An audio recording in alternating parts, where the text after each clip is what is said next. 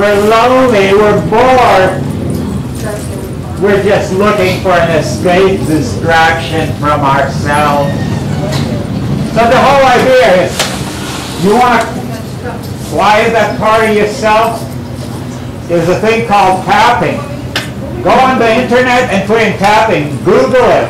They got even on YouTube how to go about doing it. It's just tapping. Anytime you don't feel happy, you don't feel good, instead of reaching for Twinkies, donut, or some cake, tap yourself. It quiets your mind and you're in the zone again, connected to the source, the divine that is always the place of happiness, not the place of the distraction of materialism, which is a beautiful place to be. But most of you are so damn addicted to it. That's all hell you have. Time to go inward, create that space of joy. So that's basically my teachings. My teachings, we go back to Surgeon General report and way beyond that. The late President Johnson when he gave the health message to the nation, and I would hate to see Obama give us a health message to the nation. I love the man, I think I do. He's so puzzling that it's hard to know where you are, especially with Clinton leading the pack. But President Johnson said at that time, long ago for you, 65% of Americans, that included kids, 25% of the kids were suffering from degenerative incurable diseases. At least not curable by medical profession. So you know what President, the late President said? Go out and find out to the Surgeon General, where are we the we have the lousiest record. 45 nations had a higher life expectancy after the age of 40 so they did. They came back about 10 years up with about a thousand pages of report. Now, so you don't miss the essentials of the whole thing.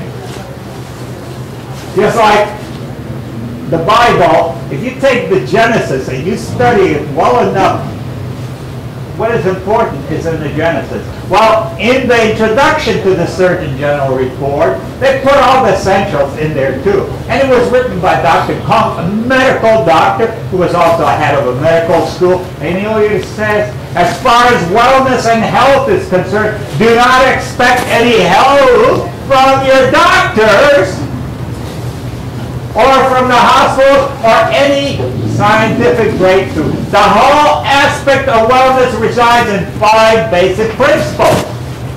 One of them is motion. Or in other words, exercise, which when you're doing exercise, what happens? It's the number one antidepressant. When you do your one hour morning or whatever time, best in the morning, you're going to have a hell of a good day. You don't do it. You think you don't have time? Let me tell you, it doubles the amount of time you have that day. Everything starts falling into synchronicity. Life works for you instead of you working for life or for your pay or whatever it might be. So diet was number one. Exercise was number two. Number three was attitude. Like I said, you can change your attitude to motion. Doesn't matter what time. Look left, right, and you forget what the heck is bothering you. That's how stupid your mind is. Easily distracted from the non-essential. And then number three is or is rest snoozing. Most people are about three hours behind on a daily on their rest recovery. What is rest all about? Well, it has to do with it's an opportunity for you to stop eating. That's why morning is breaking a fast. Breakfast, breaking a fast.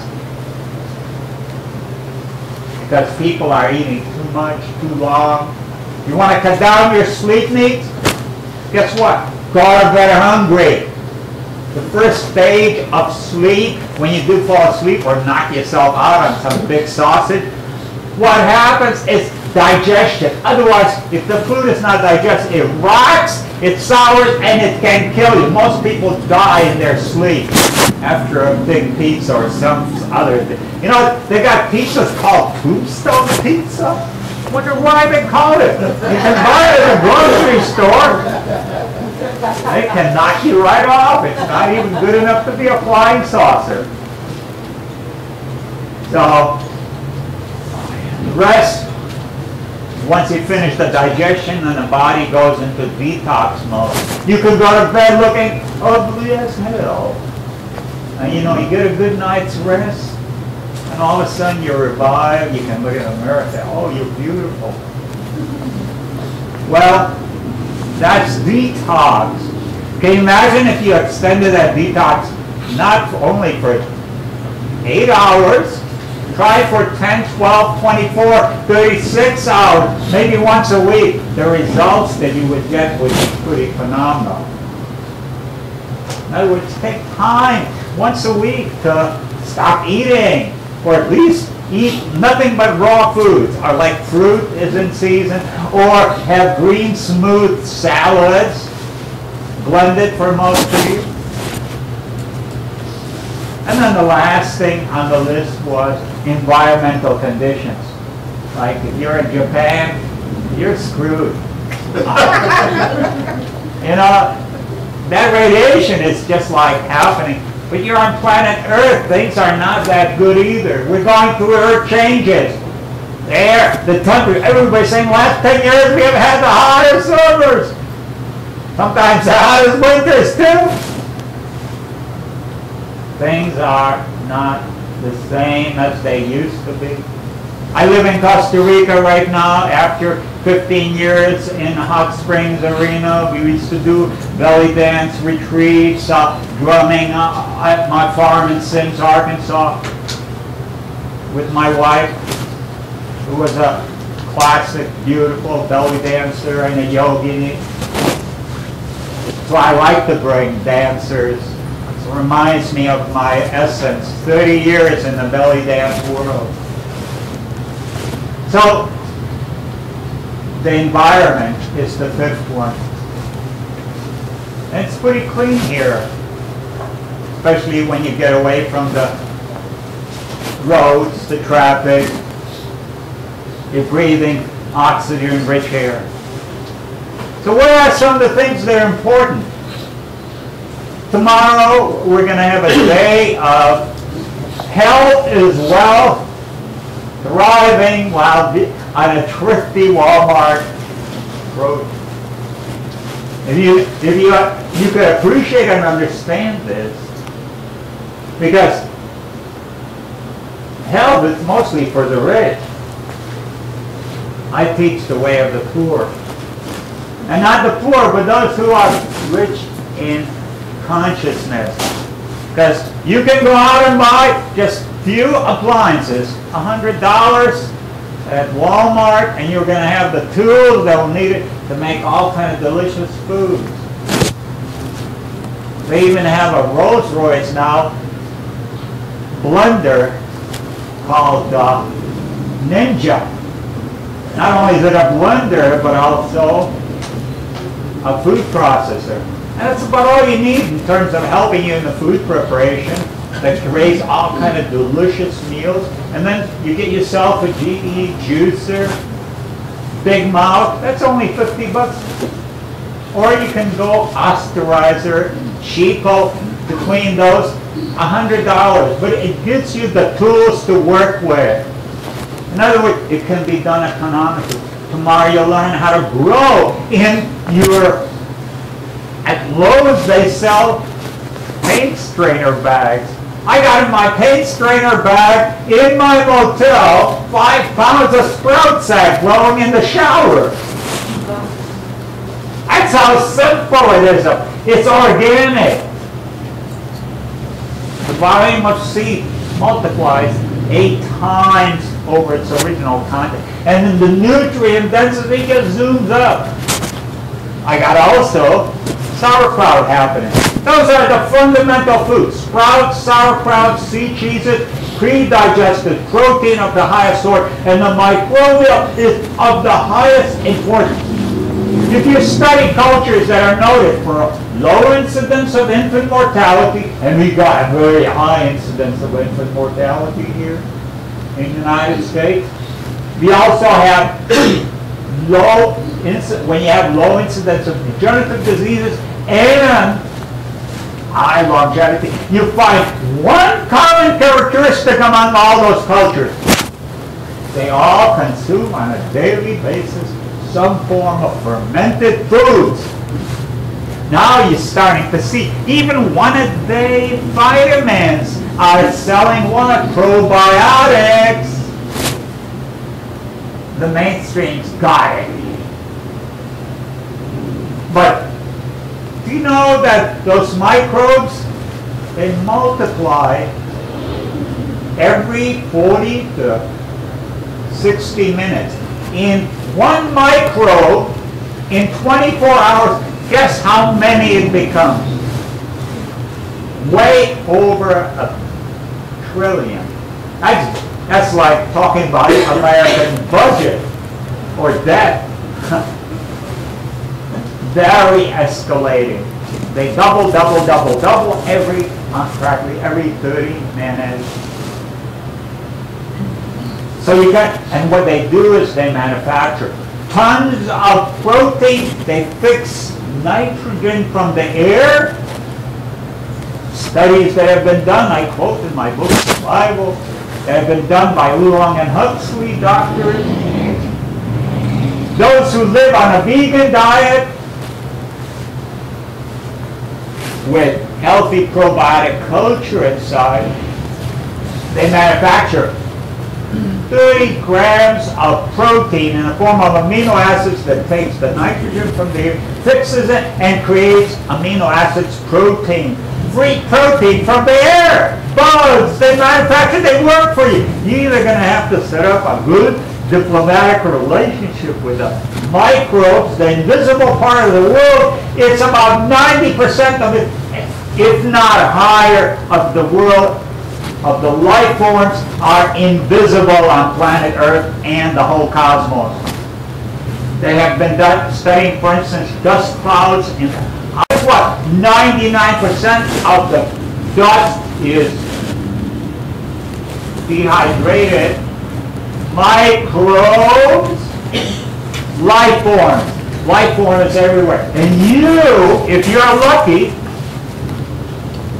you are just a bug culture. In a healthy individual, according to microbiology, the individual has 20 to 60 times more bacteria than they have cells in their body. And they do all kind of wonderful things. And you go out and drink that chlorinated water. That's called antibiotics. It kills them. They want you to stay unhealthy. They want you to stay dumb. Yes. That's called putting fluorides into your water supply. It messes with your brain. It precipitates out into pineal glandula. So you lose your intuition. You just become a dumbed up zombie, which is what is going on. And then to make sure that they really have done the job, they shape through the sky with chemtrails, with guess what? Aluminum. The Alzheimer's disease are special. And you got to breathe it. You fight that whole thing by healthy internal body ecology by staying strong, by keeping your immune system strong. Green. The radiation is so phenomenal right now, and we're subject to it. This, for instance, it does a major job on your red blood cell, and you have a high demand for production of red blood cells, even though your body's trying, according to the standards 50, 70 years ago, everybody in this room is anemic. They cured anemia in USA by reducing the standard. Simple. A study which was done by University of Florida, Department of Agriculture, over 100,000 children who were evaluated. 60% of the children who attended school were anemic, chronically anemic. How can they think? Oxygen, oxygen, oxygen.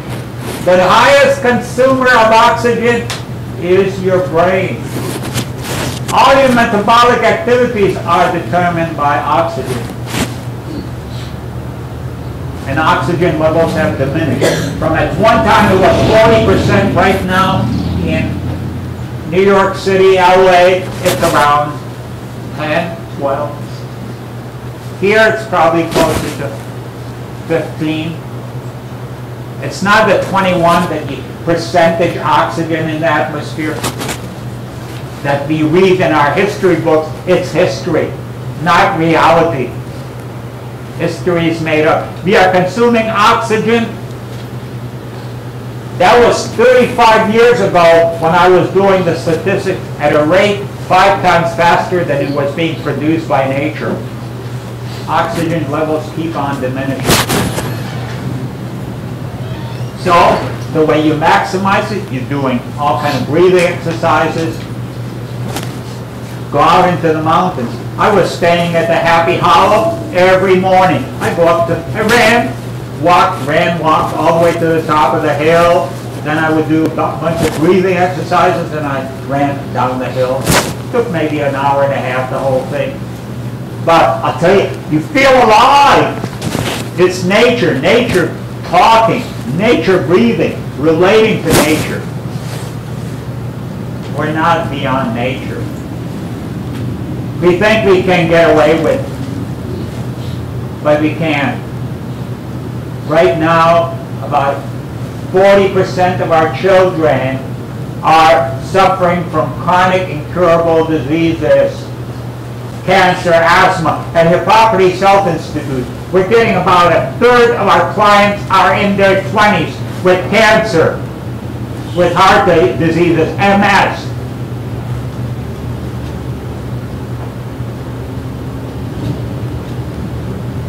We're looking at a generation where the parents will be outliving the children. This whole thing was studied by Dr. Pottenger, a veterinarian with cats. He showed on an 80% diet of cooked processed foods the impact it had from generation to generation to generation. The cats that were on 80% raw produce healthy litters from one generation to the next. The ones that were on cooked processed foods, the first generation on that kind of a dietary, the old age diseases started appearing at late kind of age.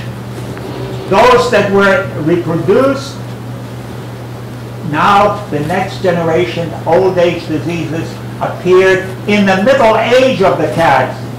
And the third generation, those cats that did able to reproduce, it was in that children. I'm hearing children nine months old being getting chemotherapy. We don't have to buy into any of this reality. It's a choice, though the ignorance prevails, but there is polarization taking place. Some of you are into tennis. Wimbledon, did you know that uh, at Wimbledon,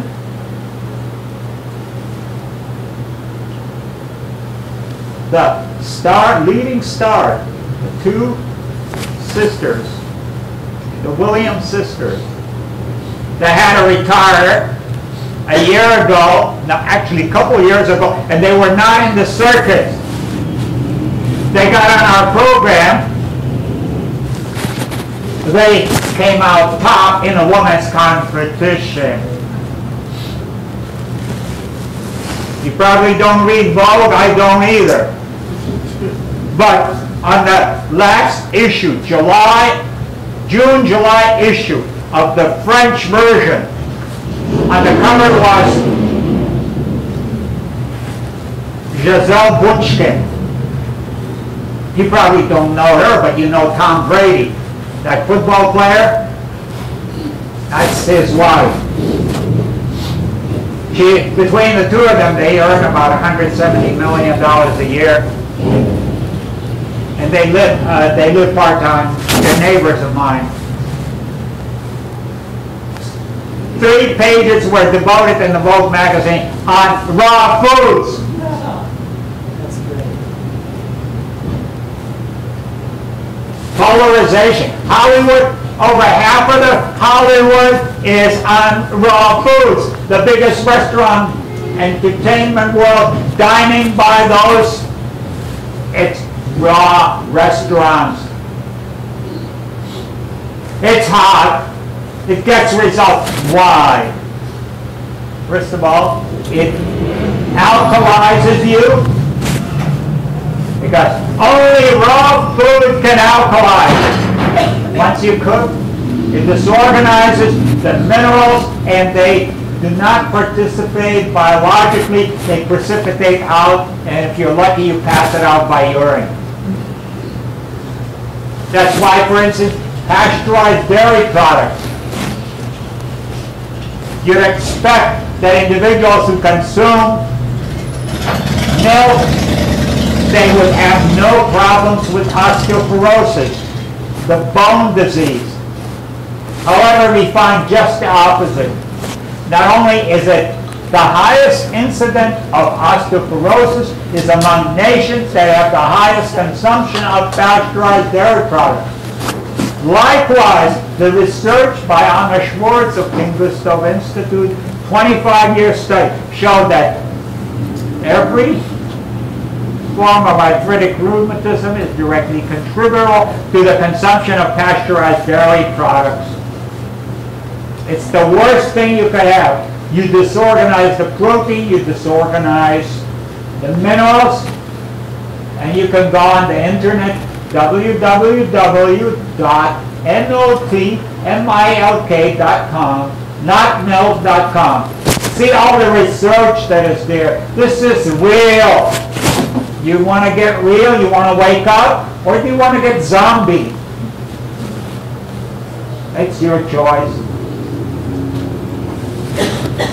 Do you realize Harvard Medical School is considered one of the greatest brain trusts? They made a major breakthrough in 2002. May 23rd, in New York Times Science section, two-page article was on the ultimate cause of all degenerative, they said probably all degenerative diseases. Uh, this was right out of Harvard. The same study was repeated by two other universities later on. And what they find was that the, the SAD, everybody on the standard American diet, the SAD diet, and you know, the, the diet that requires for you to take some, uh, some uh, you know, happy pills, because it is a SAD diet.